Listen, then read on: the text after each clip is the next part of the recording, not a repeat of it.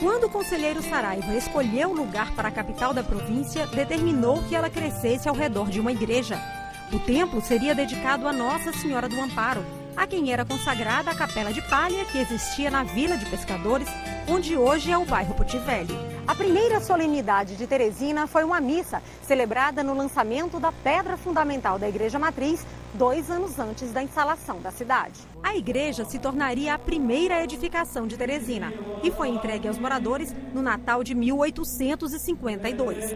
Nas primeiras décadas ainda não existiam as grandes torres com flechas apontadas para o céu, que ao serem construídas foram apoiadas em vigas de madeira e desabaram por duas vezes.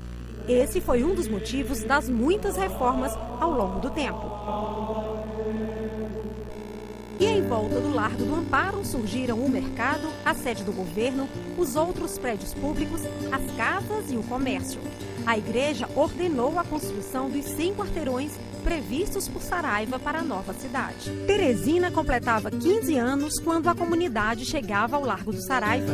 Foi inaugurada a Igreja de Nossa Senhora das Dores, elevada à catedral com a criação do Bispado do Piauí em 1906. Antes, porém, um outro fato marcou essa história.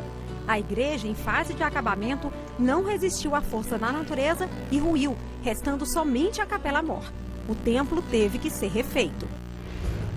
Para reconstruir a Igreja das Dores, veio ao Piauí um missionário capuchinho.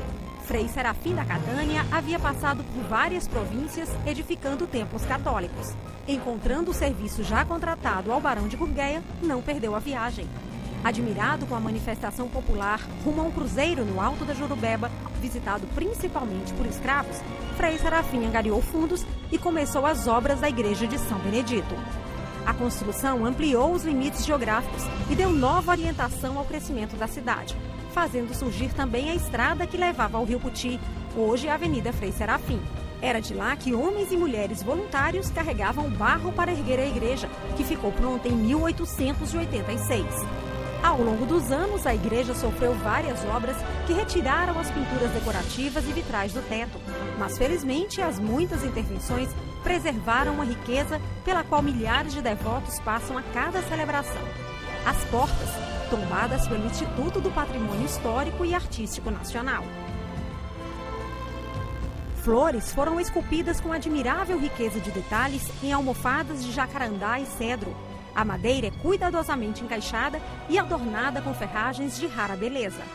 As portas fortes e delicadas como rosas atravessam os séculos e parecem recontar com amor a tragédia que envolve o artesão. Sebastião Mendes de Souza era um jovem de origem humilde que foi financiado pelo Estado para estudar na melhor escola de belas artes do país, no Rio de Janeiro. Em troca, esculpiria as portas da igreja, o que começou tão logo retornou a Teresina. Durante o trabalho, se apaixonou por uma moça rica que frequentava as missas. A família dela não permitiu o romance. Frustrado, ele se matou antes de concluir a obra que o levaria à história.